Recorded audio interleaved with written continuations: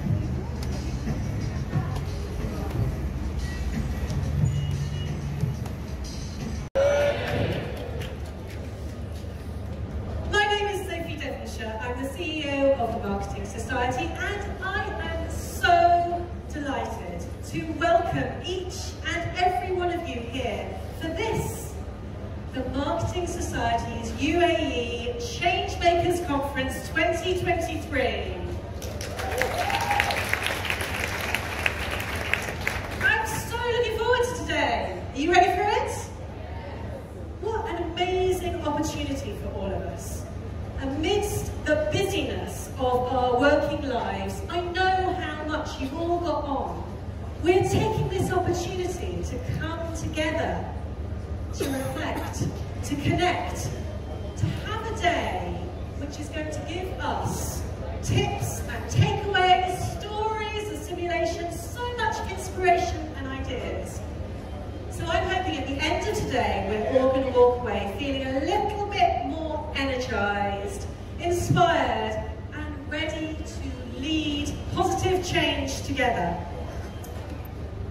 For those of you who don't know the Marketing Society that well, we are an incredible global community of marketeers who are leading the conversation in their businesses. People who make an impact and who want to make a difference. Days like today are very, very important because there is one certainty for all of us in the year ahead, in our businesses, in our lives, in the world. That one certainty is change. And when we know that the world, that business, that our lives are going to continue to keep changing, we need to make sure that we are the ones managing that change, no, leading that change. Marketeers are the Come on, come on. Okay, hands up when you've got your partner. Find a partner. Hands up. Anybody not got a partner? Oh, I can't, I don't, I can't do anything about that. Can't be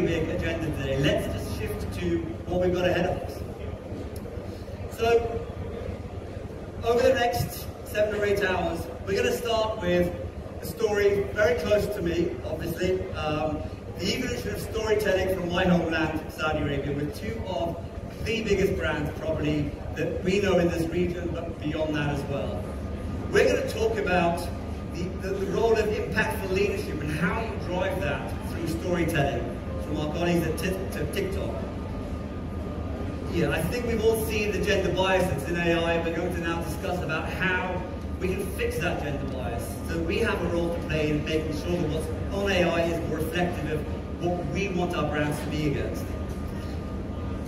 How do you drive change in a region which is often smaller than our global partners? You've got markets like the US and the West, which we're, we're one a smaller part of that global uh, entity. How do you drive change within our own region?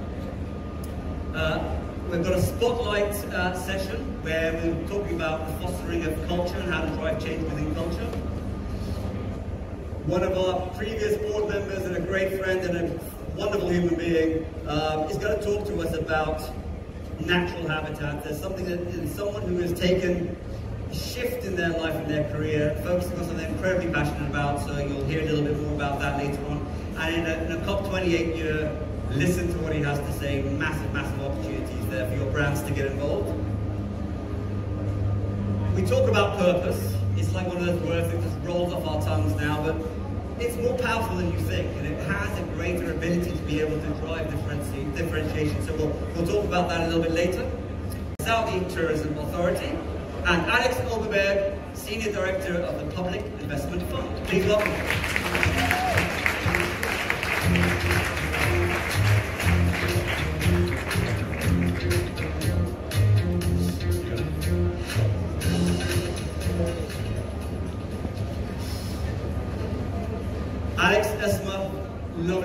It is, it's very strange as a Saudi sitting in Dubai and speaking to people working in Saudi, but it's, uh, these are two of my favorite brands right now. They are, they are transforming a nation in many, many ways. You're doing phenomenal marketing work, um, and I'm very excited about what we're going through today. I'm going to start with you, Alex, but before we do that, I thought maybe we'll watch a quick video to give you a sense of and I remember to say this PIF, it's not PIF guys, it PIF. Um, uh, and hopefully this 60 second video will give you a sense of, of, of what we're talking about. Please, if you can play the video.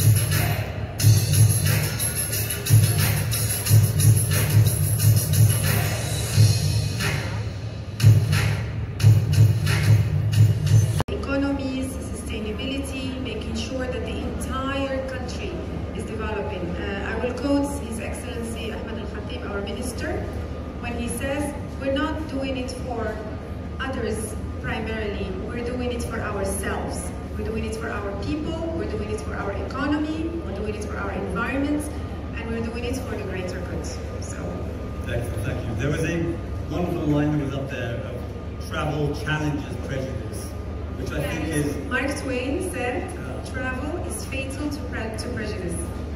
And I, I, I have a live example of that. I had a, a colleague of mine from my HSBC days who was uh, became CMO of the Mandarin Oriental and was going to a to look at venues and potentially start up there.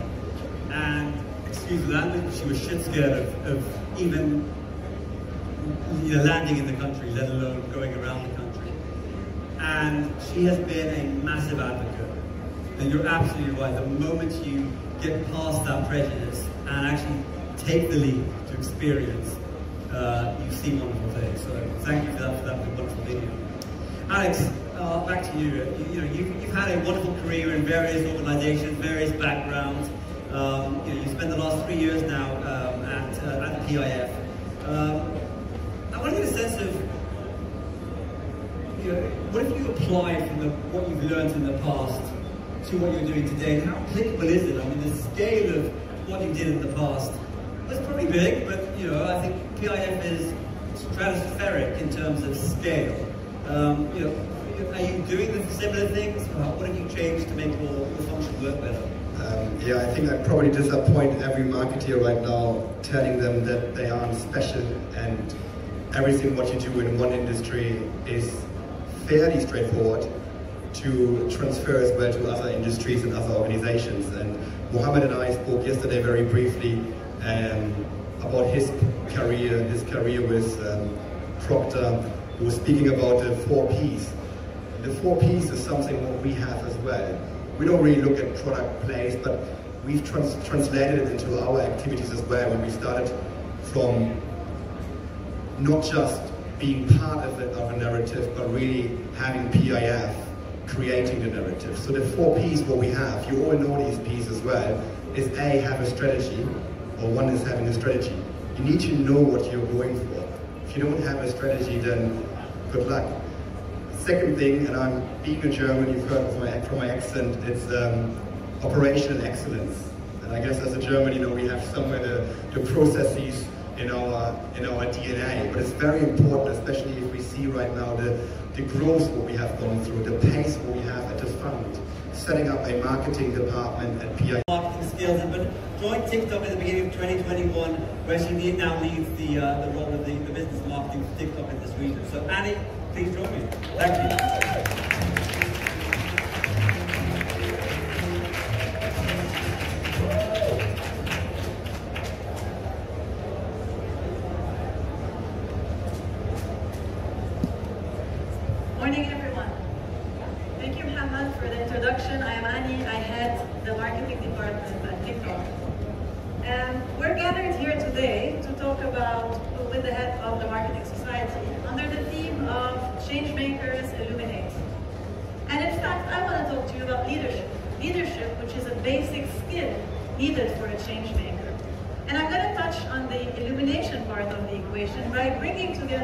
Seemingly unrelated concepts leadership and storytelling, leveraging the learnings we have from TikTok. So let's start with an introduction about leadership. Okay, this always works before, and then when the presentation happens, it doesn't. Let's see. So leadership basically means leading people, and in this, in its most stripped down version, leadership is about taking people from one point to another but that makes me wonder, who has this power? Who has this power to move people, to take them on this journey? Conventional wisdom says that it is the person sitting at the head of an organization. It's the top 1%, the leaders that everybody kind of reports to one way or another. But this means leadership depends on where you sit. Whereas in reality, you can be a leader regardless of where you sit. Because leadership is about having people who follow you, Leadership is simply about a person that has other people following them. But what makes that person earn this? How do you merit this followership? Well, this skill actually, is a skill as old as time. And if we go back to 400 BC, Plato said, those who tell stories rule society. And let's face it, who doesn't love a good story? Stories move us, they shape us. In fact, they are how we've learned about many things. I have two daughters, and when they were two, I wanted to teach them about lying and how not to lie, basically. And I leaned in on a story, the story of the boy who cried wolf. So far, my eldest is 10, still working. Let's see as we go into teenage years.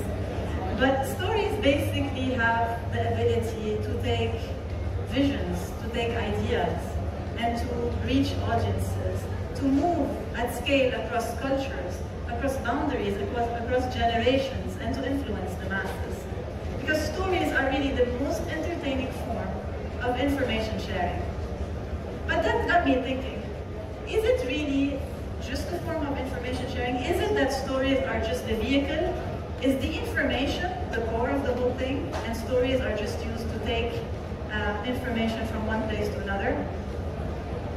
A journalist set out to answer exactly that question. When do you see there is a need? How do you, how do you define that this is a moment in time that there's a change? That You said listening to your consumers, listening to your staff. Are there other things that we should be aware of that we're noticing that you know, would make you think differently in terms of there's a need now for, some, for us to do things differently? Uh, look, from, from my side, there are changes that uh, you can change and changes you just have to accept as it is a global company. And today, just understand and see the change is way easier because we have these internal uh, portals and LinkedIn channels and, you know, like explaining the change to people is easier. But again, coming from the global company, it's not that everything that the global company is doing you have to do. And sometimes being a smaller setup office uh, across the huge company that has 660,000 employees, it's great because you can implement some things. For example, we are the only Volkswagen Group company in the world who approves work from abroad, which means this is the change that we are now driving and showing pros and cons to all other companies, Volkswagen Group in the world. So sometimes being small allows you to do faster change or only to experiment or to see working. So it's really, again, you listen, you feel, and then you try to do what is the best for your team, for your culture, and for the business overall. But uh, it's just sometimes there is no plan, plan when change will happen. Do you think if, if scale is what allows you to be able to do that here? Because 100%. What happens when you grow? Yeah. That's the, that's the challenge, right? Because I think I've worked in a global role, a regional role, and a local role, so I've, I've probably given every excuse of, you know, we're different. Um, you know, but it, but it is, you know, this part of the world has allowed entrepreneurship. Technology and human resources really ever since. And now with eAnd, um, like honestly, it's, it's very impressive with this transformation transformational journey over the past few years. Uh, one, Harvard Business Review just made a case study about you and, and uh, eAnd uh, around fostering culture and the cultural transformation. So I want a little bit deep dive into that, but also being on Forbes for the first time as a brand. But even in addition to that is uh, being one of the top and most loved brands from a brand finance point of view. So tell us why did eAnd do this journey? And obviously, if some of you are not familiar in this region, eAnd uh, was formerly Etisalat. It was our first telecom in the UAE. It was formed in 1976, uh, and it was probably before I was born. Way before, but I'm not going to tell you when. So tell us a little bit more about that transformation and journey. So it's it's really a remarkable transformation. It starts and ends with people, and it doesn't actually start the last few years. It starts in 1976. So Etisalat, which in Arabic is connectivity, uh, really started as the nation's first telecommunications company. And from 1976 to 1983, in 1983 we were the first mobile network in the Middle East. So that was our launch. Fast forward to 1995, first internet services in the Middle East. Fast forward to 2020, uh, fastest mobile network on earth. So you're taking a company in a country, in a nation that's just about 50 years old and leapfrogging every few years through technology and innovation. Now, how do you have innovation?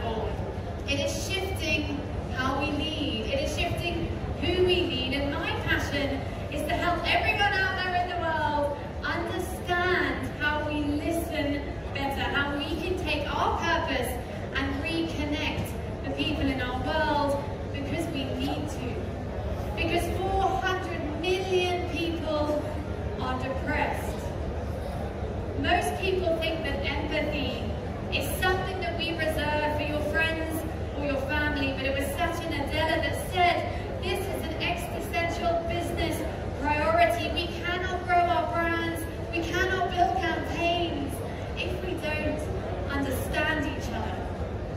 We need to balance humanism and capitalism. We all need to make money, make your profit, but do it in a way that pulls our people us, people beyond profit, not instead of, you've heard a lot about that already today.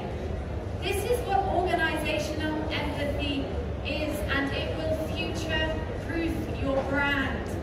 How are we ever going to talk to our consumers, let alone our, our, the people we work with, if we don't hear them? How are we going to fix our world if we don't listen to each other? Today, this has been named one of leadership's most important skills. And I was holding the mast. When the boat straightened, I was on top of the mast. About eight meters. From there I fell on an aluminium pole on the boom. I hit my back like that. I fell on the deck. I went inside. Everything was a mess. I tried to clear things, but 30 minutes later when I tried to stand, my knees just collapsed. And I fell. I tried to stand again. I couldn't. And I realized there was something wrong with my spine. So I sent this text message, rolled, this bastard, severe back injury, cannot get up. And this text message led to the biggest search and rescue event of this century. We had six assets pressed into service. Look at this, this is how remote it was, right in the middle of the uh, South Indian Ocean, thousands of miles from anywhere, uh, any land. There were six assets that, that were pressed into service. There was a P-8I from India, uh, a Poseidon from Australia, um, a frigate from India again sailed out. There was a, uh, another frigate which sailed out of Australia. Uh, my nearest competitor, whose boat was damaged, he too tried to come to me and pick me up. And this was uh, when the Australian pilot, Lieutenant Commander Williams, took a picture of the sea. And now let me ask you a question. Can you see the boat? That's where I was. Can you see how insignificant I am in this tiny patch of the sea? That's my boat. That's me inside the boat. Spine fractured. No food, no water, nothing to do. On the fourth day, I was rescued by a French ship. I was taken to an island close by. 16 days after the accident, 16 days after the accident, not raising the tools to cope with that. So, is it any great surprise that in the UK, the biggest killer of men under the age of 45 is suicide? They're killing themselves at three times the rate of women. Now, while brands are being part of the problem, they can also be part of the solution. Now, you might say, as marketers, what can we do? Well, we have immense power and influence, clearly, to decide how we depict aspiration and success. We saw what Dove did for women with beauty. Let's do the same for men.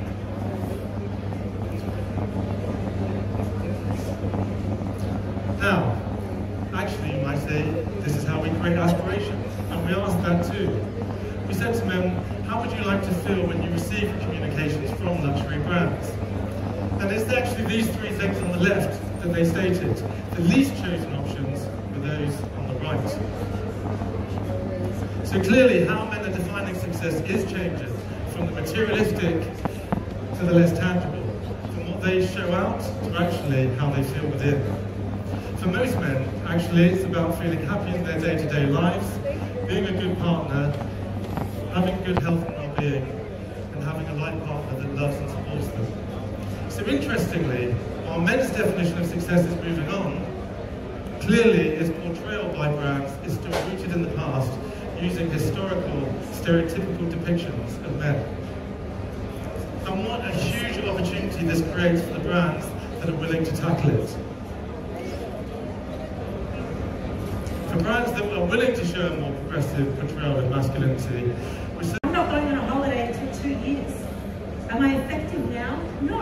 But in two years' time, as I want to come to Dubai, there's this place, it's got a pink building, it's called Atlantis, and that's where I want to go. Can I prove that that was effective at the time? Probably not. There's a lot of wastage. But in time, marketing by definition is a latent effect. That's why brands like Coke, who are 131 years old, still spend 7 to 10 percent take up a very small portion of the human brain. But it's when you need that information that you go and retrieve it. And it's up to us to do that. You know, and there's this plague in our industry now of I want a return and I want it now. But ultimately, brand equity and brand building is a return. It's just a much longer return on investment. So, what are we missing in our industry? Not that we're missing it, but it's definitely become uh, a much uh, underrated skill, courage. We are moving into a world of performance and moving away from being courageous.